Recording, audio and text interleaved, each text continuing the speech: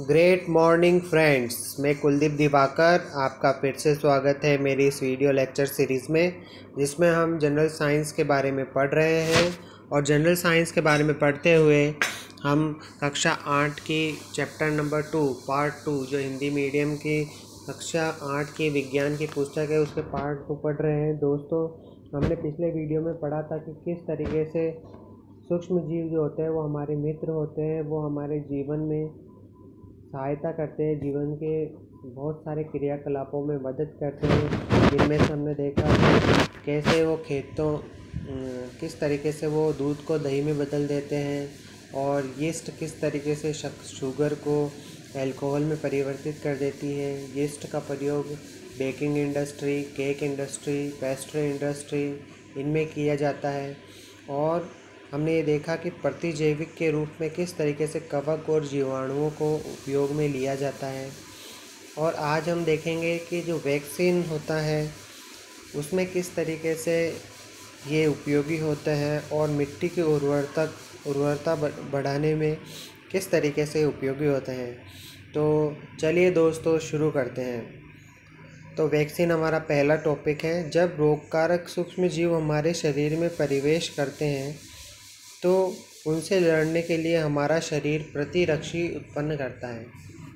तो जब कभी भी रोग रोग को बढ़ाने वाले जीवाणु सूक्ष्म जीव हमारे शरीर में परिवेश करते हैं तो हमारी बॉडी एक बार एक बार उस जीवाणुओं के लिए प्रतिरक्षी उत्पन्न करती है। वो प्रतिरक्षी जब काम आता है, जब वो जीवाणु वापस सूक्ष्म जीव वापस हमारी बॉडी में प्रवेश करता है तो वो प्रतिरक्षी क्या करता है?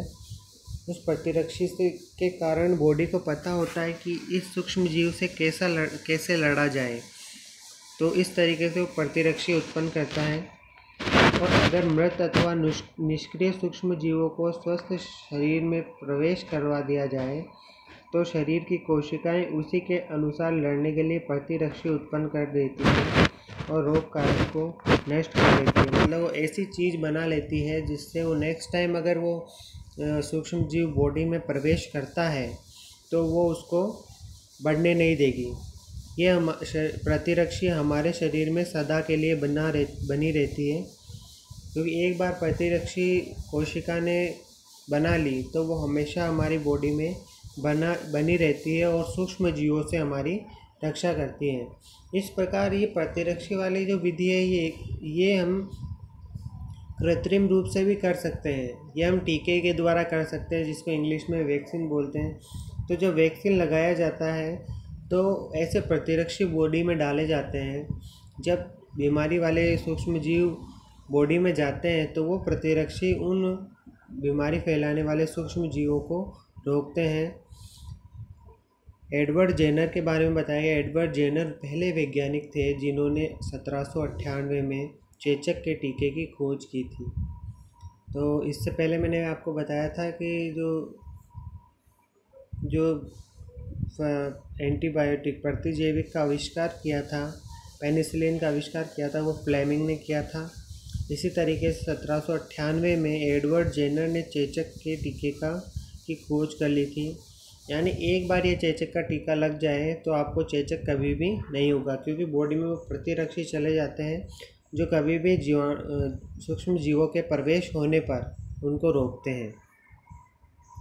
अब आपने कई पल्स पोलियो अभियान भी देखे होंगे, वो पल्स पोलियो अभियान में क्या बच्चों को दो बूंद पिलाई जाती है तो वो भी एक टीके का प्रकार है।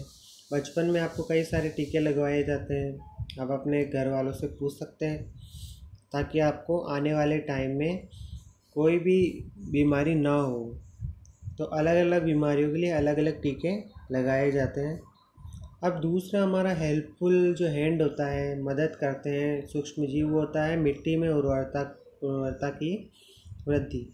तो मिट्टी में उर्वरता में वृद्धि कैसे होती है? कुछ जीवाणु एवं नीले हरे शैवाल वायुमंडलीय नाइट्रोजन का स्थिरीकरण करते हैं। मतलब वायुमंडलीय नाइट्रोजन गैसीय अवस्था में होती है। उसको किस तरीके से पौधे यूज़ कर सके, पौधों की यूज़ करने वाली अवस्था में बदलने के लिए सूक्ष्म जीव उपयोगी होते हैं। इसलिए इनको जैविक नाइट्रोजन स्थिरीकारक कहते हैं। कुछ शैवाल और वो दिए हुए हैं। नीले हरे शैवाल जो उपयोगी होते हैं नाइट्रोजन स्थिरीकरण में। अगला उपयोग है पर्यावरण का शुद्धिकरण। पर्यावरण का शुद्धिकरण कैसे करते हैं? जैसे आपने स्कूल में माली को देखा होगा, वो जब पौधे उगाता है तो जब मिट्टी डालता है, उसके साथ में वो गोबर डालता है जैविक खाद डालता है, और वो जैविक खाद को उसके अंदर जो जीवाणु होते हैं, वो सरल पदार्थों में बदल देते हैं, जिसके कारण वो खाद में परिवर्तित हो जाती है।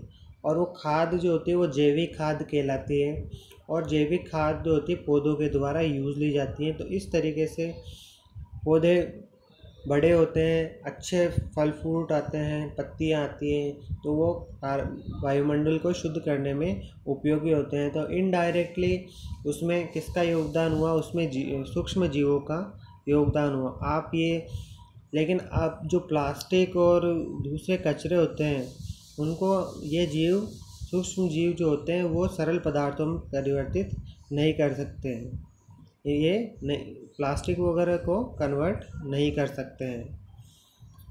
अब आप अक्सर बड़ी मात्रा में मृत जीवों को सड़ते हुए पादप कभी कभी सड़ते हुए जंतुओं के रूप में देखते हैं। आप देखते हैं कि कुछ समय बाद वो विलुप्त हो जाते हैं। इसका मुख्य कारण है कि सूक्ष्म जीव क्या करते हैं?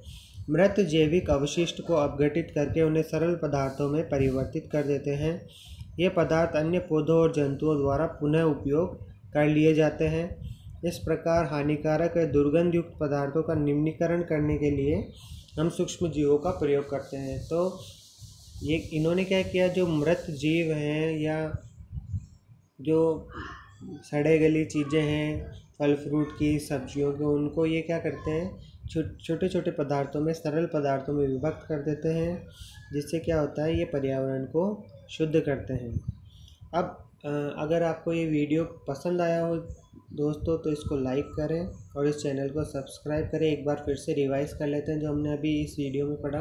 हमने पढ़ा कि वैक्सीन जो होता है, टीका लगाया जाता है, ताकि बॉडी में वो प्रतिरक्षी डाले जाते हैं, जो सूक्ष्म जीव को प्रवेश करने पर उनकी वृद्धि को रोकते हैं। दूसरा हमने पढ़ा कि ये वायुमंडल, जो मिट्टी होती है, उसकी उर्वरता को बढ़ाते हैं। इस तरीके से नाइट्रोजन की स्थिरीकरण करके तीसरा हमने पढ़ा, ये पर्यावरण को शुद्ध करते हैं। कैसे?